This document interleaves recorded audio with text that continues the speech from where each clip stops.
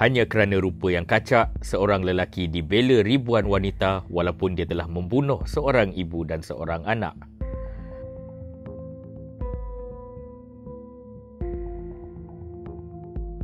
Pada Mei 2018, Cameron Herrin telah melanggar seorang wanita, Jessica Risinger Robinall, 24 tahun dan anak perempuannya sehingga maut di Florida, Amerika Syarikat. Dilaporkan Cameron memandu sebuah kereta Ford Mustang dengan laju dan tidak dapat mengelak mangsa lalu mengakibatkan kematian. Akibat kemalangan ini, Cameron ditahan dan ia menjadi sebuah berita hangat di media Amerika Syarikat. Cameron berjaya diikat jamin namun pasportnya ditarik dan Cameron perlu memakai alat pengesan gelang kaki sepanjang tempoh perbicaraannya.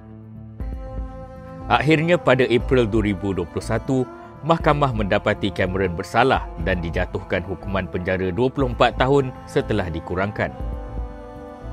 Namun di sosial media, Cameron dibela oleh ribuan individu, terutamanya wanita untuk memberi peluang kedua kepadanya dengan hashtag Justice for Cameron Herring. Malah terdapat petisyen yang dilancarkan untuk mengurangkan lagi hukuman ke atas Cameron dan hampir 20,000 individu telah menandatanganinya.